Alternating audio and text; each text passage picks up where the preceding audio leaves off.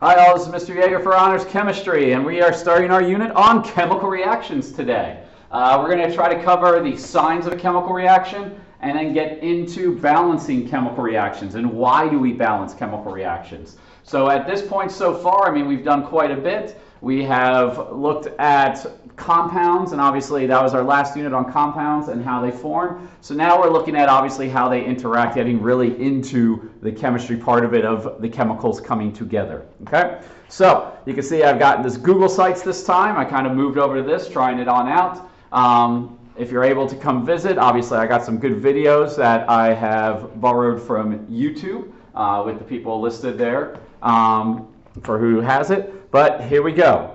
On this unit, we are going to cover the signs of a chemical reaction, balancing chemical reactions, identifying types of reaction, predicting products, net ionic equations, and redox reactions. So it does look like a lot, but we kind of take each part piece by piece and kind of just add one more thing to the chemical reaction each time or how we're kind of breaking it down when we get to predicting net ionic and redox reactions, okay? But again, for today, we're just looking at the signs of a chemical reaction and balancing chemical reactions, all right? Yep, that's it. So, signs of a chemical reaction, all right? I got some neat videos again here, but kind of hammering out the main signs of a chemical reaction. You got color change, okay? When you mix two chemicals together, we, have talked about this before, kind of taking a moment to step back. Back in Unit 1, when we were just introducing matter, we had the idea of a chemical change is when the substances are turning into something brand new. Okay, and so that's the same idea. Chemical reaction and a chemical change are the same thing. So we've talked about these, but now we're going to get more into it a little bit and hopefully see them a bit more. But signs of a chemical reaction Color change is probably the most obvious one, okay, to us. I guess that, you know, every day to day type of thing. If something is changing color or, or has changed color, there must have been some chemical reaction occurring, whether we could see it or not. Again, that goes with mold, that goes with um, things rotting, rusting, things like that. That's color changes. Gas formation is another very popular one in the lab. This is again where we're not boiling the object, but when I mix those two things together, all of a sudden gas bubbles form. Okay, the best examples are, you know, if you've ever made volcanoes from vinegar and um, baking soda. Okay, you're not boiling anything. Actually, the substance, the, the solution will get colder when you put those two things together, but it creates a gas coming out of it, which wasn't there before. A big one that we will use quite a bit and be talking about a lot in terms of solubility rules and figuring out what's going to be seen in the reaction. All right, because sometimes we don't actually see the reaction. Like I guess you still always see the reaction, but you not might not see a substance created in some way. But we got to get used to this word precipitate. Precipitate, and a precipitate is when a solid forms from mixing liquids or and or gases. Okay, basically a solid is forming. That's called a precipitate. All right. So again, if you watch some of these videos, you'll see them mix two liquid solutions together. Okay. So there's a chemical dissolved in water, but then when you mix those two, all of a sudden a powder or solid will form. And again, a lot of times these things go together. Um, if you watch this last video over here, this will show you basically a color change and a precipitate forming. All right. It's a very common one, potassium iodide and lead nitrate is going to form lead iodide, which is a yellowish solid that forms there. Okay, so that's what we're looking at uh, quite a bit with these types of uh, situations as well. All right. Um, I mean, there are there are additional ones. Smell change, obviously, would be one. But the last one we're really kind of looking at, and we'll talk, we'll do a whole nother unit on this, is change in energy. All right. And so again, a very popular one where you can see Science Bob do this with Jimmy Kimmel um, is the barking dog reaction. It's a pretty neat one. All right, but it's a very high energy reaction where it'll create light, and like seeing light emission, that would be another sign of a chemical reaction, like glow sticks. Okay, but also forming smoke, that's a gas formation, that's a chemical reaction occurring. But when we have these changes in energy occur, it's because we're breaking and reforming the chemical bonds. All right? And so that energy is released. And so we have two types of energy type reactions. We have what are called endothermic reactions. And again, I'm pretty sure we covered this back in chemical change or at least mentioned it briefly. But an endothermic reaction is a reaction where the reaction will pull energy into itself. It needs energy from the environment and it pulls it into inside the atoms themselves to help create the reaction. Okay? And where this might be kind of confusing is where we pull this energy in, we're actually going to feel colder. All right? Because the idea is it's pulling energy from you, it's pulling energy from the surroundings. And so everything around it, and it's going internally into it, so it's not producing heat. The object actually feels colder afterwards. So endo, endo, into. Okay? Endo goes inside, so it makes something that's colder. The opposite of that is exothermic reactions, and that's where you release the reaction will release energy. And again, I feel like people more think about this one, but anytime you've done a cold pack, if you've ever had an injury and had to get a cold pack and you grab one of those things and kind of slap it and break, it basically it breaks a seal inside and things mix inside of it and it gets colder, that's an endothermic reaction. Again, exothermic reactions are the ones that maybe people think are more interesting because they're more explosive because you're clearly seeing that energy get released all right? But that's where everything will get warmer around it because it's coming from inside the reaction outwards. And so you feel that as heat, okay? We will definitely do a lab later on where you're going to be identifying, you'll, you'll recognize that a chemical reaction took place based on these signs that you see here, okay? Next, let's look at balancing. All right. So, Obviously, one of the big things with chemical reactions is writing and balancing chemical reactions. Okay? Is writing these out in a form where we can then clearly see what are the two different or multiple compounds or elements doing. All right? But then we also have to balance it. So, why do we balance chemical reactions? We balance chemical reactions because of the conservation of mass. All right? Mass cannot be created or destroyed, it's only converted to other forms. So in other words, it could be changed into energy in some ways. That's Einstein's equation, E equals mc squared. Okay? But we have to, in our case, we're always going to try to account for every single gram, every single bit of mass that's in the reaction. We must have the same mass before the reaction and the same mass after the reaction, even if the atoms rearrange themselves. But this is why we then balance it. Okay, we must account for all of those atoms by mass before and after the reaction. All right, we have to see that we have this conservation of mass. So, in other words, kind of very briefly, if we have a reaction, and we're going to see these terms below, it's always reactants to products. If you use 10 grams of reactants, we should form 10 grams of products. That's what should happen. Again, eh, I mean, in a way, we are using all 10 grams, and we should see all of it produced. In real life, in real practice, we will see that we might not get all of that mass to completely convert we, because again some of it could be used to create energy. So we can have this loss of mass. Or the reaction might not go to completion so you might be going wait a minute why am i not getting a full 10 grams out? Because maybe all of it didn't initially all react so it's still there okay? But we should have a total mass on both sides that is equal. That's what we're sticking with okay? Um, we have different parts of the chemical reaction. We have, and you just saw me write it up there. We have reactants. These are the things that are, are starting pro products, as the name implies, what's going to react.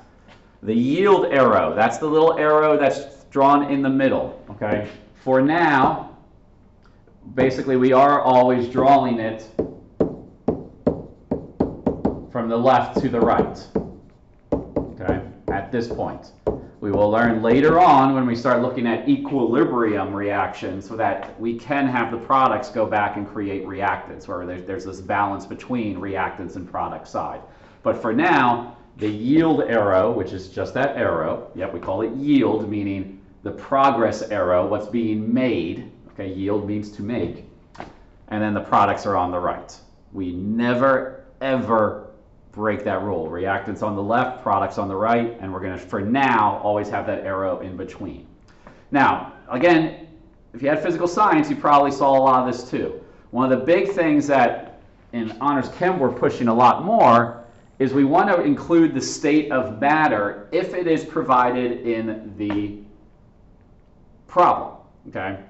Um, sometimes it might not be, and I'll let you know and be like, no, you don't need to know it. There's some cases where we might actually have to figure out the state of it, whether it's a solution or whether it's a solid or a gas or a liquid or so forth. Okay. For now, though, let's start off with the fact that we will give it to you in the written description of the reaction, and we have to include whether each compound is solid, liquid, gas, or what's called aqueous solution. Aqueous solution just means it's dissolved in water. Okay, dissolved in water is what we're looking at there. All right.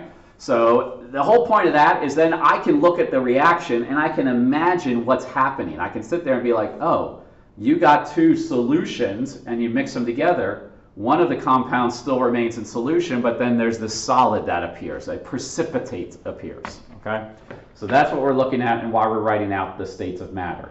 We write these states of matter just as a little tiny, um, a little tiny letter after the compound and just put it in parentheses. All right? So that's what we're looking at there. I guess I'll just mention it. Two other things that'll be written in a chemical reaction will be the subscripts. This is for obviously telling you the number, uh, tells the number of atoms in a compound, so that's nothing new. We already know those uh, in compound, okay? But we will start writing what are called coefficients.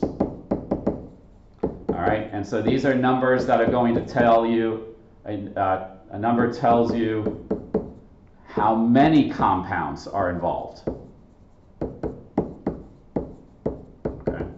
So this is a number that's going to go in front of the compound or the element and say how many of those compounds elements are involved in the reaction. That's how we're going to balance it, is with the coefficients.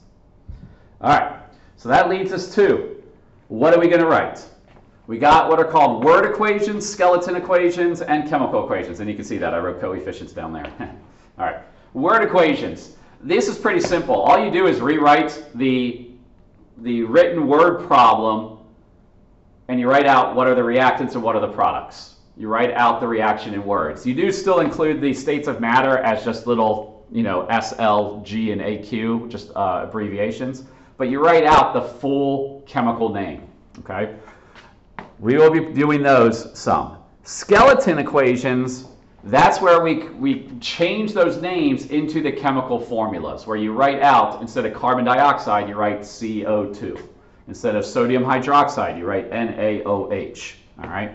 But a skeleton equation is an unbalanced chemical equation. And so that leads us finally to what's a chemical equation? Okay?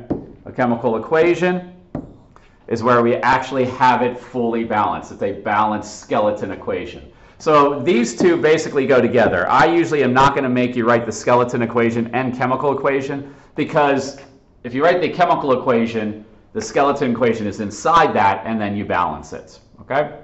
And then, like I said, there's the definition for coefficients again. Okay? It tells you the number of compounds or molecules present. All right? So that's going to lead us already to our practicing. So let's try some of these problems on out here. Okay? I'm going to change my view here. Okay so we can look at these. So, jumping into some of these, let's write a word equation and let's try to balance it. Okay, so word equation's nothing too big. You got solid ammonium dichromate yields products nitrogen gas, solid chromium oxide, chromium 3 oxide, and water vapor. So, what I'd write here is I'd write, for the word equation, if I use my pen, ammonium dichromate. Word equations take a while and it's a solid, it says. So I'm going to write S after it. It yields, so that's telling you that's my only reactant. It's going to yield or produce nitrogen gas. So nitrogen, so this is where knowing how to write compounds is going to be big. Nitrogen is a diatomic molecule. So it will never just be N by itself. It's N2, and then it's a gas. Oops, I'm getting ahead of myself, sorry. We were just write nitrogen, I'm doing the word equation. Nitrogen gas plus, and again, you try to keep writing it out, but I just don't have space. Solid chromium 3 oxide, so chromium 3 oxide, solid, plus water vapor. So water and vapor means gas. It would say liquid water if it's liquid water. So there is my overall word equation. All right, and I wish I had more space, so I guess wrote it a little smaller because I'm going to try to use this to try to show you what we're doing here. Okay, so that's done. Word equations, pretty straightforward. You just got to, again, go which side is which. Again, now we can point out that the left side, these are my reactants. I only have one, ammonium dichromate, and all three of these things are my product, nitrogen, gas, chromium 3 oxide, and water. Okay, all right, so now let's write the skeleton equation. All right. So this is now practicing and showing off, can you write your compounds correctly? Do you know your polyatomic ions? So if we do this like we've done before, ammonium, ammonium dichromate, this is an ionic compound. I will say the majority of compounds you will do are going to be ionic based. All right, the majority of them will. We do have some covalent compounds. We clearly see that on the right hand side. But most of the time, we're going to be using the ionic method of figuring out the formulas. So ammonium is plus 1, dichromate is minus 2. Okay, minus 2. Then I have to write it. So in the end, I got NH4. Let me write this a little lower since I got to get those chemicals. NH4 and Cr2O7. So this would be NH42, Cr2O7. That is my reactant. And again, I crisscross the charges, okay, or balance the charges. It will yield, I was trying to do this before, nitrogen. Well, nitrogen is a diatomic, so we need to know our diatomics really well right now. So if I have nitrogen, oxygen, fluorine, chlorine, bromine, iodine, or hydrogen, it's always the element 2, okay? Plus chromium 3 oxide. Chromium is plus 3, oxide is minus 2, so crisscross that. So that'll be Cr2O3, and then water, H2O. Okay? We should write the symbol after it. I am going to balance. I'm going to probably need a little bit more space here. Solid and gas. Okay? All right, so let's see if we can try to balance this out. All right, I'm going to show two methods with trying to balance this. I might show my second method on a second problem where it does, it's uh, maybe a little bit more simple to see it, but it would be the same idea. My primary method, which again might be a little tough for those really new to it, is just staying organized and going back and forth with one element at a time. Now I do have some little tricks along the way. One of them being, if an element is by itself, try to balance that one last, okay, in the end. Try to balance that one last because if it's by itself, it's not going to affect any other element when you try to add a coefficient in front of it. So I'll try to follow that on this one. N2, while it's two n's, n is by itself. Again, what I mean is if I add a coefficient in front of n2, I'm only changing the number of nitrogens. If I change the coefficient in front of chromium 3 oxide, I'm going to change the number of chromium and oxygen atoms in that compound. Okay? So let's see how this works out. And again, sometimes these look a little more intimidating than they are if we just take our time through it. It's amazing how these just all of a sudden work. So I'm going to skip n, like I said, because it is at the beginning. That is, you don't have to follow that rule, but that is something I kind of follow when I do balancing. So, how many hydrogens do I have? I'm going to start off with hydrogen. Well, I have four, four right here in ammonium, but I have two ammoniums, which means I have eight hydrogens, which means I need eight hydrogens on the other side. Well, the only compound that has hydrogen in it is H2O. There might be multiple sources of hydrogen, and we can look at that. We might have to play around with it. But I only have one, fortunately, and H2O has two hydrogens. So anytime I increase the number of waters I have, I'm going to double the number of hydrogens. Okay, because if I add another water in this, if I kind of say it that way, I now have two waters, but there's four hydrogens total. So anytime I add a coefficient, it's going to be multiplied by two for hydrogen. So if I need 8 and I have 2 here, what times 2 is 8? 4. So now I'm saying I have 4 waters. Okay. Sorry, 4 waters, true. And I have 8 hydrogens. So hydrogen is now balanced on both sides, but I might have to come back to it. Even though it's balanced now, it might not be balanced later. Let's go to chromium now. Chromium I have two, chromium I have two. I don't need to do anything, it's already balanced. Oxygen, I have seven. I need to, I have two sources of oxygen, so I need to add those up. So I have three from this one, and I have four waters, which means I have four oxygens from the other one. So guess what? I have seven. Oxygen's already balanced. Awesome. So all I have left to do is go back and look at nitrogen. There's two. There's one nitrogen for every ammonium, but I have two ammoniums, so two times one is two nitrogens, and I have two nitrogens over there. And there's my balance reaction. I know I have a lot of little extra arrows there, but the only thing I needed to add to balance this is a 4 in front of H2O. Okay. One thing we don't do is we never we never put a coefficient of one. We don't do that. If we have written the chemical there, we know we have one there. All right, but that's it. So let's do another one. See if I have see one that's a little bit easier to kind of go through. We could do this one. This one's not that big. Okay. So I'm only going to do one more word equation because they're pretty straightforward. Carbon tetrahydride gas and oxygen gas yield carbon dioxide and water. Okay. Now, it probably should say carbon dioxide gas. It's going to be a gas. It's not going to be a liquid or a solid. But, so we're going to make that assumption. Okay. So the word equation would be carbon tetrahydride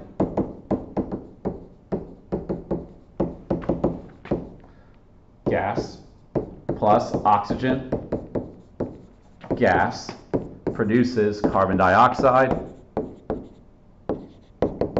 gas plus water gas. Now we don't say water vapor. Like that's not the, the chemical name for water is not water vapor. We just write water. Okay?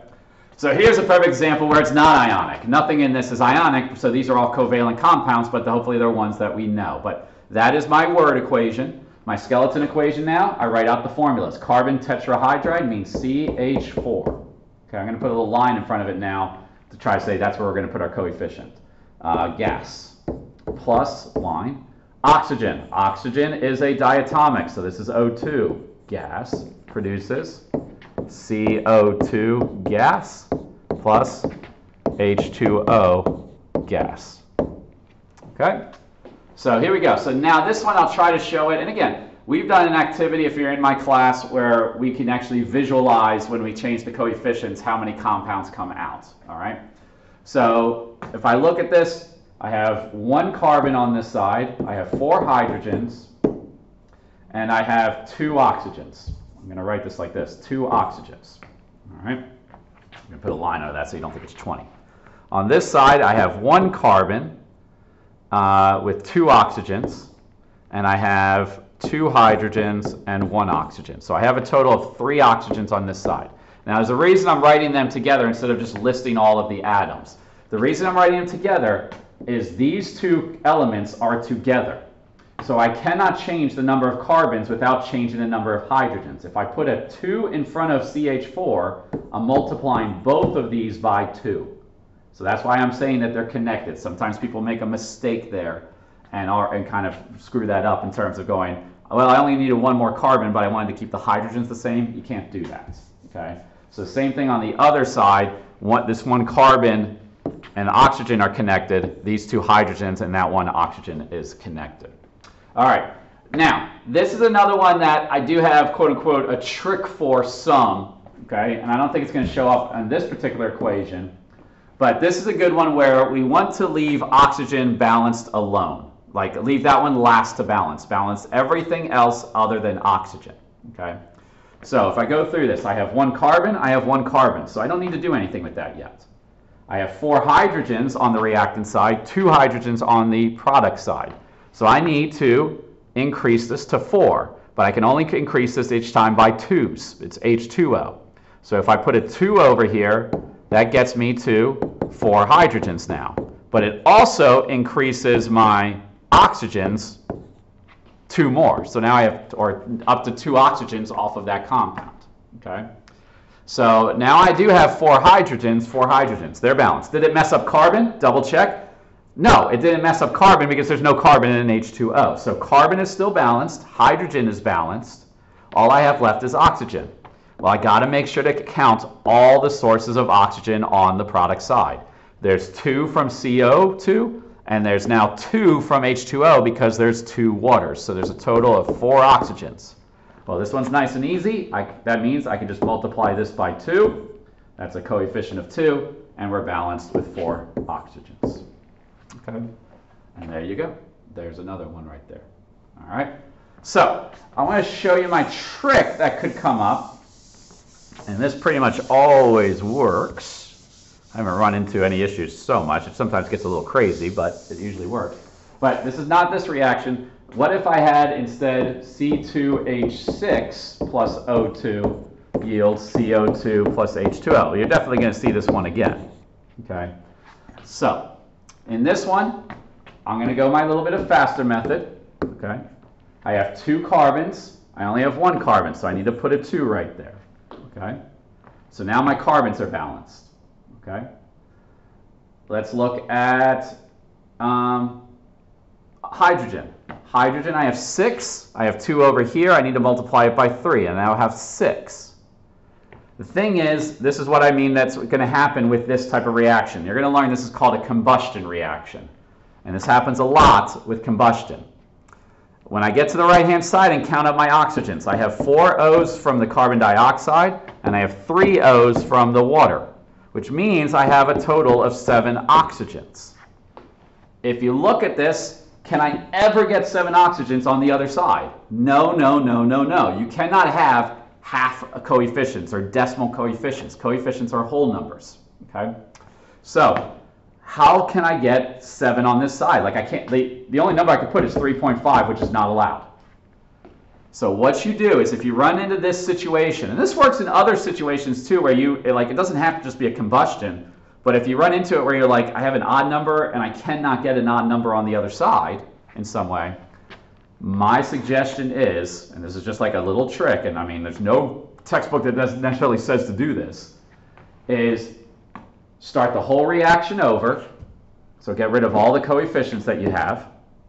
Some people would say keep going with it. That's fine. You can totally keep going and try to figure it out. I mean, it's not a huge trick. But I say erase everything and put a 2 in front of the C2H6 compound. This is going to be called a hydrocarbon. I'm showing this now because we're going to get to types of reactions in the next video, and we're going to say this is called a hydrocarbon. But you put that 2 in front of the hydrocarbon, the carbon-hydrogen compound. Now go back and rebalance, and you usually will get a correct balancing now. So now we have four carbons, so I need four over here, so that's a four. I have 12 hydrogens, so this is going to become a 6. 6 times 2 is 12. Now I have 8 oxygens here and 6 oxygens here for a total of 14 oxygens. Well, 14 can be divided by 2, so that's 7. There you go. Now it's balanced. All right. Now, one of the things I guess I'm trying to, I, I did not mention with this, and I should have said when we balance chemical reactions, is we want to make sure you have the lowest ratio of all the coefficients. And so if you have the lowest ratio, then you have the correct answer. So if I look at all these numbers, while 2, 4, and 6 can all be divided by 2, 7 cannot.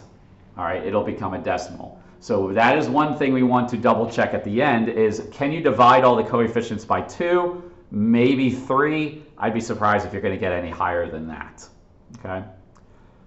If this happened not to work, if you did that, if you did double and you found that it still did not balance, you still had an odd number on one side, what I actually tell you to do again is go back and start over and double this again, go up to 4. And what you'll run into is it should work out. If you end up doubling too much, what you'll find out is you got to reduce everything. You like you'll get it balanced, and you'll go, wait, everything can be divided by two. Go ahead and do that. Okay. So maybe one more. Okay. All right. So I'm not going to do the word equation. The word equation would be mercury 2 oxide solid produces yield arrow mercury L and O2 gas or oxygen gas. So if I want to write this one on out, mercury is plus 2, oxide is minus 2. So that one's just going to be HGO, and that's solid. Produces mercury, that's just by itself. Is mercury diatomic? Nope. So it's just Hg And then O is oxygen diatomic. Yes, gas. All right. If I look at this one, Hg and Hg are balanced. O, O2 is not balanced. I need to put a 2 in front of HgO. That now unbalances Hg, so I come back and put a 2 right there, and that's it. Okay? Not every single chemical reaction is going to be that difficult. There are going to be ones that I give you where if you write it out correctly, everything's already balanced. It's 1, 1, 1, 1. Okay? And again, this is the lowest ratio because technically there's a 1 right here. Okay? But we don't write it, and you can't go any lower than that. All right? So that's basically it for balancing chemical reactions. All right? So time to practice and practice and practice.